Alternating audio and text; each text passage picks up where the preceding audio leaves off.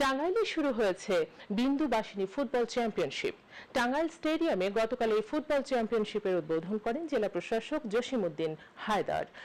আওয়ামী যুবলীগের senior president সদস্য মামুনুর রশিদ মামুনের সভাপতিত্বে উদ্বোধনী অনুষ্ঠানে তথ্য সম্প্রচার মন্ত্রণালয় সম্পর্কিত সংসদীয় স্থায়ী কমিটির সদস্য খন্দকার মমতা হেনা লাভলি অনুষ্ঠানে বক্তব্য রাখেন।